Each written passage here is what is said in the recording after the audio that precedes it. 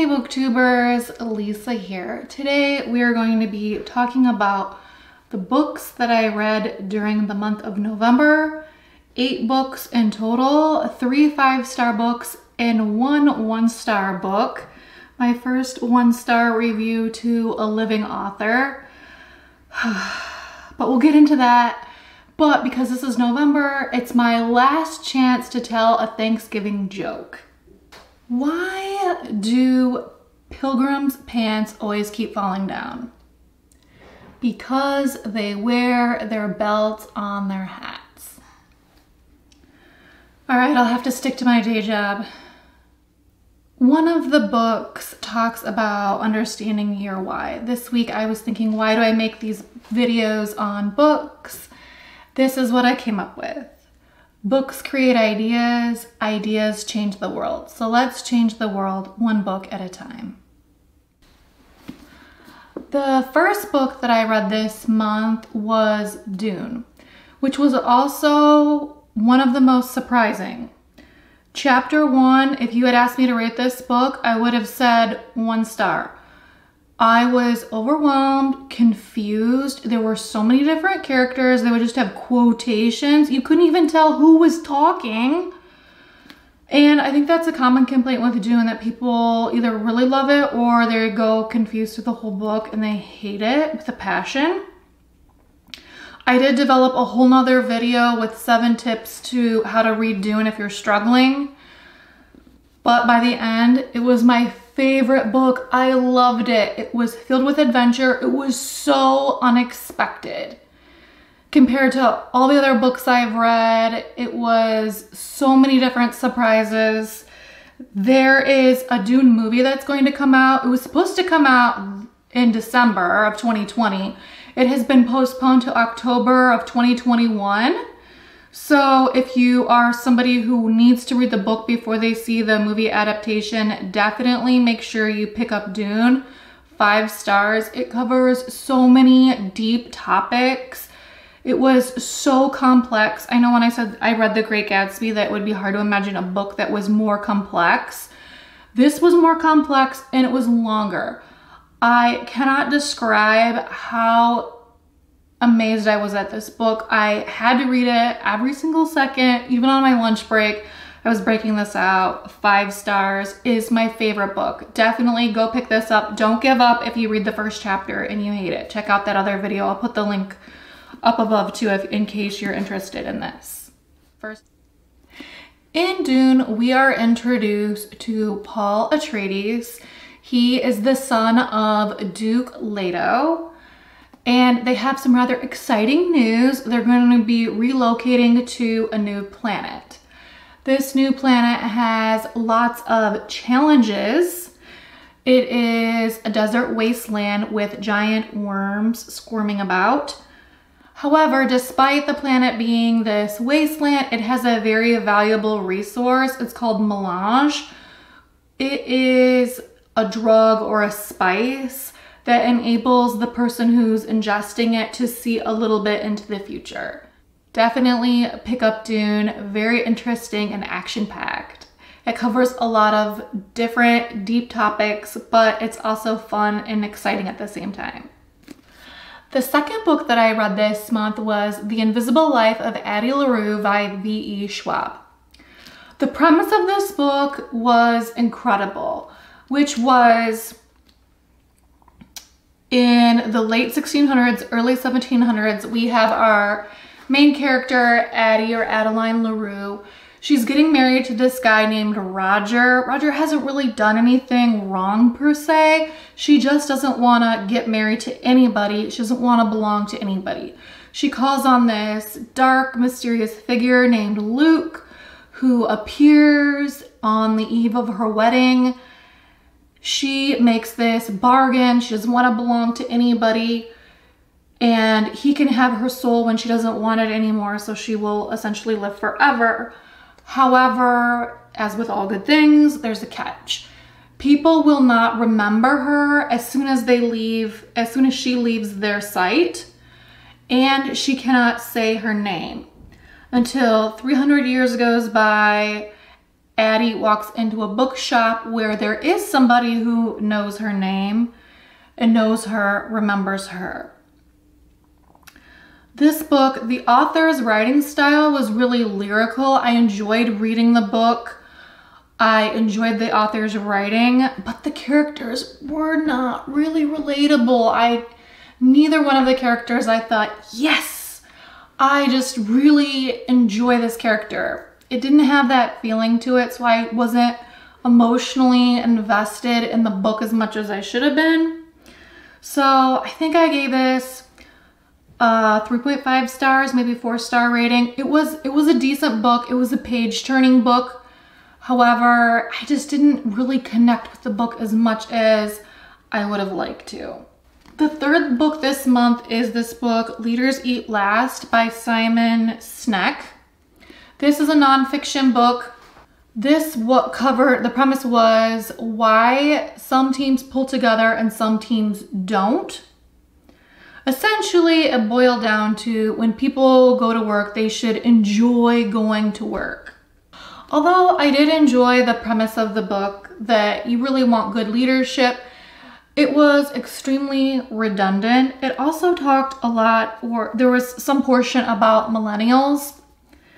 And I didn't think it was a little bit unfair to millennials at times.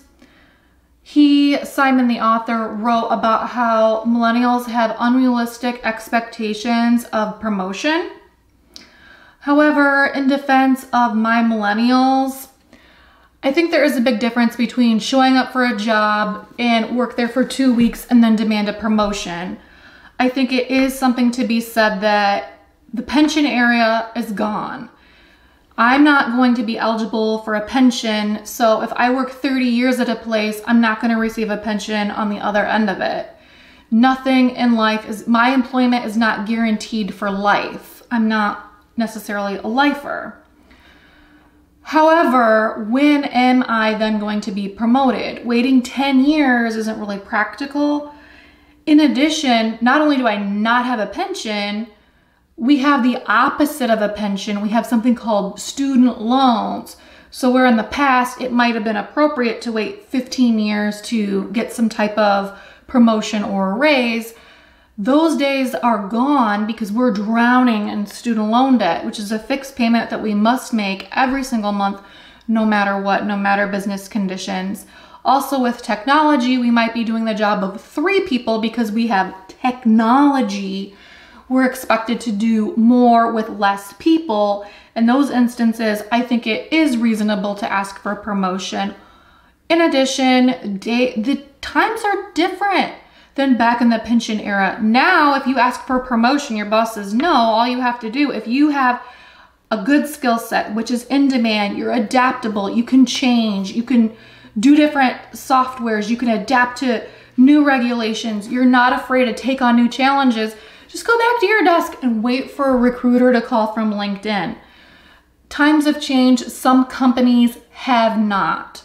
The next book I read this month, this is a short story by Philip Pullman.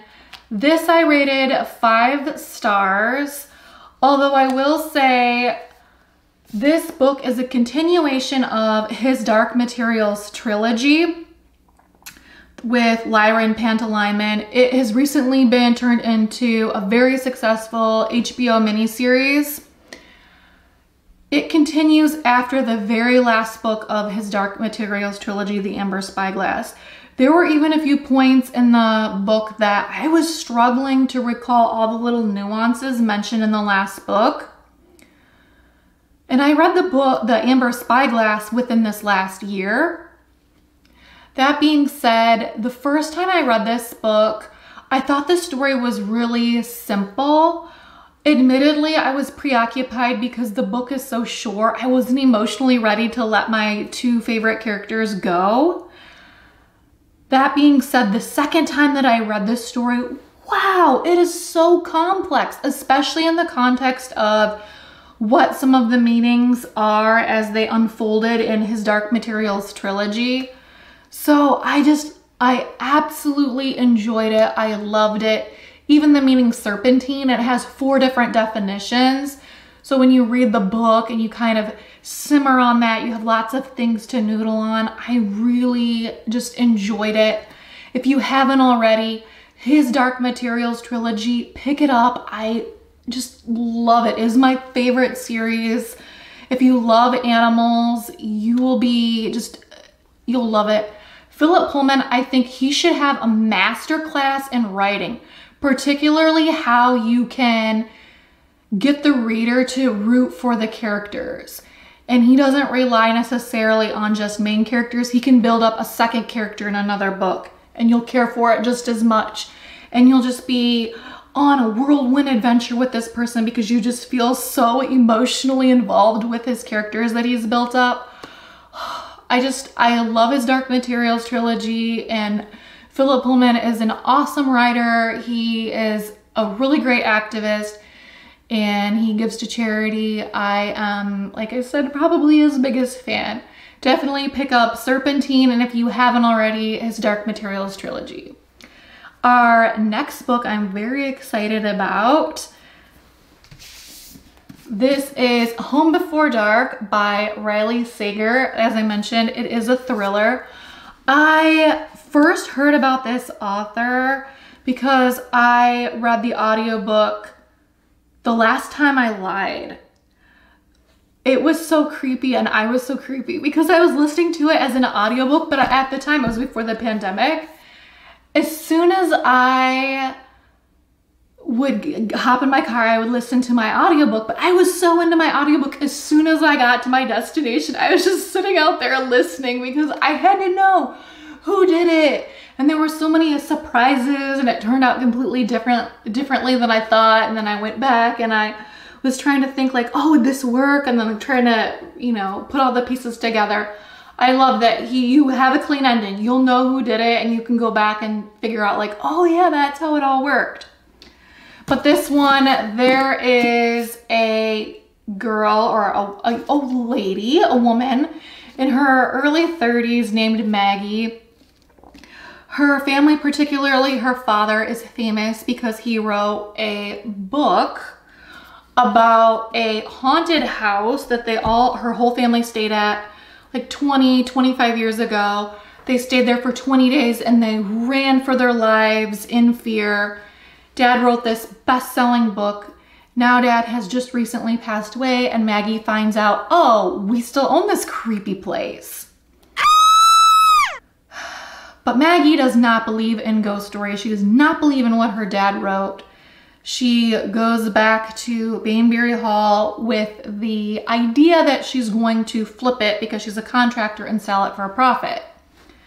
While Maggie's there, there's some spooky things that happen and it flips back and forth between Maggie's current day experience and it cuts back to what Maggie's father wrote in the book, of course, even Maggie doesn't know if what her father said is true or not. So we're trying to figure it out and you're trying to figure it out all along with her. Did he write the truth? Did he not? Who did it? You have all these suspects. And then, especially with last time I lied, I'm like, I don't want to be caught off guard. Who could it be? Who would it be? And I was like trying to figure it out the whole way. Like, I'm not going to be caught off guard. I'm going to know who it is. I'm going to figure it out. So I super enjoyed this. It was definitely a page turner. Um, if you read this, I did an extra video on this. The first portion is spoiler free. The last portion talks about the ending and like a rant about the the the book on the the book.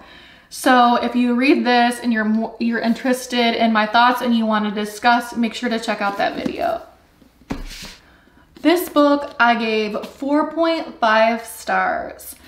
And I probably would have given this book five stars had I not read or had I not did, did the audiobook the last time I lied. But this was almost as good as last time I lied, 4.5 stars. The next book, this is by Michael J. Fox. This is No Time Like the Future. If you watched my TBR video, this was not on here. This was a must read. I read this on Twitter that he had this new book coming out. I had to pick it up. For those of you who don't know who Michael J. Fox is, some of you might be too young to remember. He played Marty McFly in Back to the Future. He was the guy who was doing the skateboarding and he got in the DeLorean, that like weird looking car. He had to go 88 miles per hour, Christopher Lloyd. He was also more recently on The Good Wife. He was Louis Canning, one of the attorneys going up against Alicia Florrick. Any in any case, beyond being a very famous movie star, Michael J. Fox was also diagnosed with Parkinson's disease at the age of 28 or 29. The reason why I was really interested in hearing from Michael J. Fox, particularly this book, this book is called An Optimist's View on Mortality. He, in addition to battling Parkinson's disease, he also has had some medical setbacks talking about do you make lemonade out of lemons and how do you choose to live your life? This book I picked up because although I'm not suffering from Parkinson's disease, I was diagnosed with a rare neuromuscular disorder this year, year called POTS. It is postural orthostatic tachycardia syndrome, which that's why everybody calls it POTS. It has a cute little name, but it's anything but. It means that my nerves do not communicate correctly to my muscles, including my heart. So when I stand up, the blood pools in my legs and I can faint, difficulty walking, there can be tremors. Um, I can have runaway heart heartbeat. So if I try to go to sleep, zero minutes of deep sleep. When my cardiologist measured my heart, I had more than 2,000 abnormal heartbeats in a 24 hour period my life is definitely not how I had expected it would go this year. In addition to the, the pandemic, I've been battling this neuromuscular disorder and I wanted some tips to how to stay positive. As with everybody and everything going on recently, the darkness looms close. However, however long or short my life is, I don't want to spend it wallowing or sad, although I do have every right and I'm justified to have a little pity party. That's not how I want to live. So Michael J. Fox, he was the narrator of the audiobook. I also got the audiobook. It was really cool and he was funny. The topics are heavy, but he made it really light and fun. He also has a charming little section about his dog Gus and I'm an animal lover. If you're an animal lover, definitely check it out. If you're going through a tough time, chronic illness, job loss, whatever, he'll definitely give you a better perspective, give you some hope in a in a dark in a dark time. And now that was that was my five star book. I absolutely one of my my last five star book. The next one is What Would Frida Do by Arianna Davis. This was my one star book and this was the first one star I've given to a living author and I just set up my Goodreads account. I have got like two friends. So if you want to connect, I'll leave my information below. Oh gosh. Okay. So what would Frida do? If, what would you expect this book to be about? I expected it to be about Frida Kahlo. It says on the back, self-help biography. Uh, I picked it up thinking I'm gonna learn more about Frida Kahlo because I'm interested. I'm a feminist, I'm a social activist.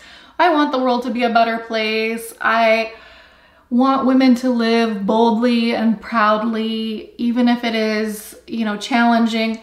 I wanted that encouragement and I picked this up. There were very few facts about Frida Kahlo and the, the facts that were in here were repeated ad nauseum.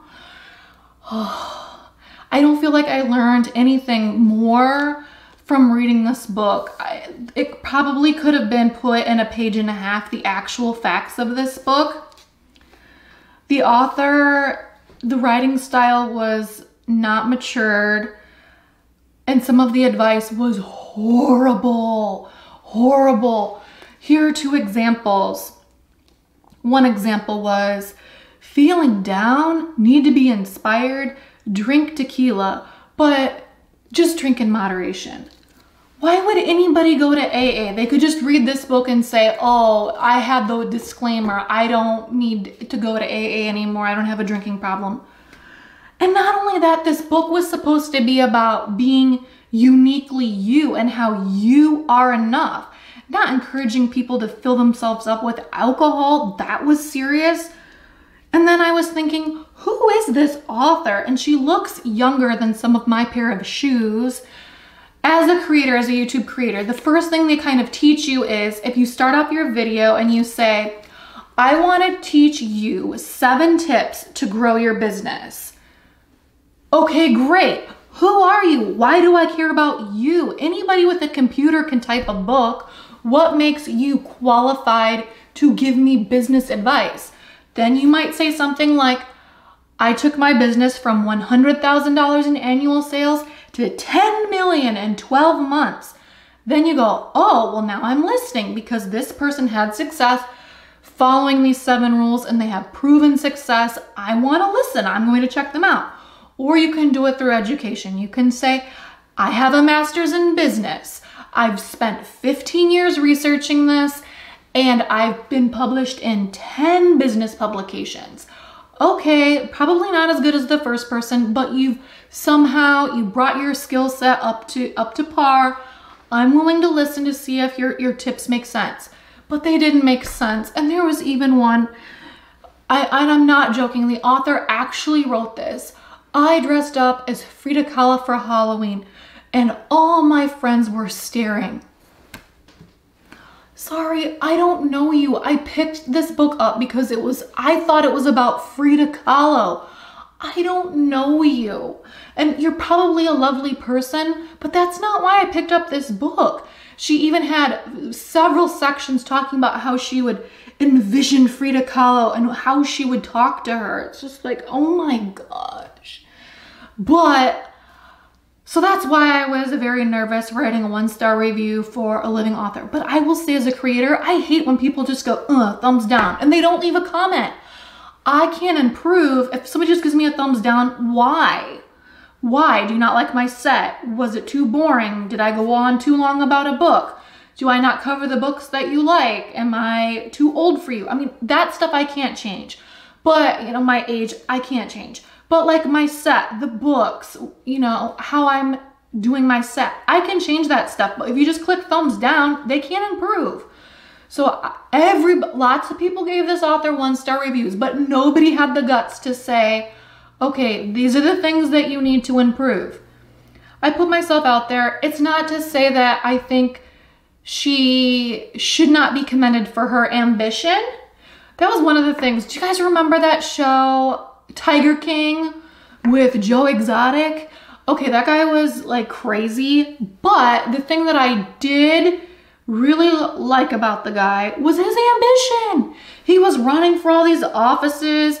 He employed all these people. I mean, I don't think his practices were good, but he did employ all these people. He had all these different cats. He raised all these things. He went from a, you know, blank piece of land and he built up this huge zoo he was regularly doing YouTube videos more than I do. And he built up this audience. He got a film crew. He did a lot with it. You know, he, he did get off the couch and do something. So I give this author a lot of props for writing a book, even though, you know, she is one of the people who just has a computer, and then seeing it all the way through publication, through getting notes and reviews and shopping it around and all that stuff. I do give her props. And I don't mean to discourage her, but I did give her some feedback. I don't know, has any author ever flipped out at you for leaving a bad review? Let me know down below. Let me know if you think I did the right thing or if I should have just given a thumb, a one star and not said anything. But I just, as creator to creator, I just can't do it.